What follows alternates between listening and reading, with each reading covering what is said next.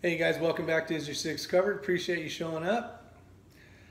So June 14th, I put out a, a video on the recall of the Ruger Mark IV.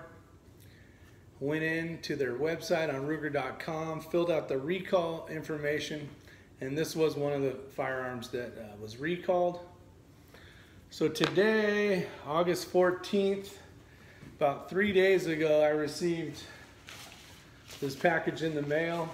Inside of this was a priority mail, um, pre-logoed. Everything's good. It's got my logo or uh, my address and where to ship to already done.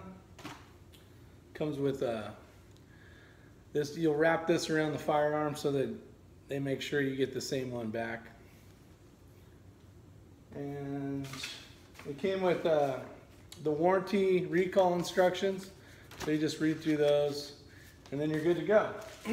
Along with that came a protective protective bag so we can make sure it stays nice. But we'll take this off. This is the part you're gonna wanna return, no mag.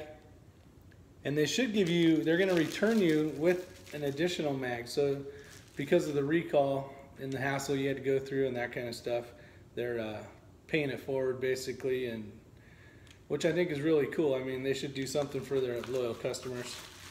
And I think that's pretty awesome. So you just throw this in here after we put the sticker on the trigger guard.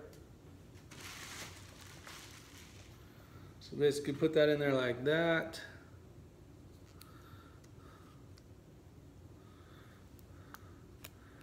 And then you're good to go. So that, that way you don't we don't lose it, they don't lose it, and you get returned the correct one.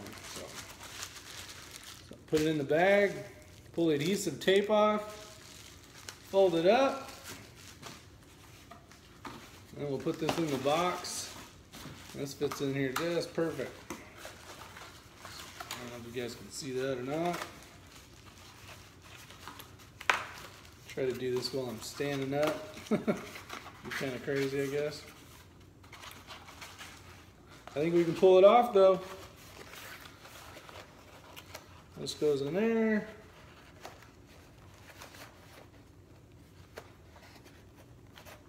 Come on now. Of course it wants to be stubborn because we got the video rolling. But you know what? We're going to fight through it. You're going to see me get this. All right, there's one side. The other side in here. This is probably the hardest part of the warranty right there. All right, so you fold it all up. Pull adhesive off this side.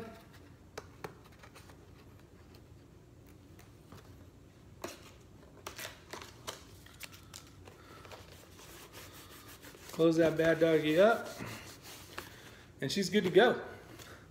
So stay tuned. We'll see what happens when we get back, see how much different it is. Uh, there should be on the, the safety dot, the white dot, and the fire dot, it should have a letter uh, S and F.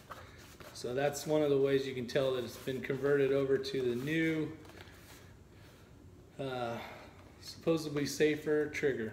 So with that said, guys take care, have a great day, like, share, and subscribe, and I'll see you guys on the next one. Take care. Bye.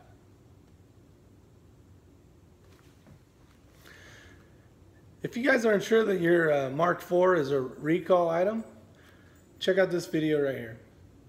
This will help you figure it out. You guys take care. See you on the next one.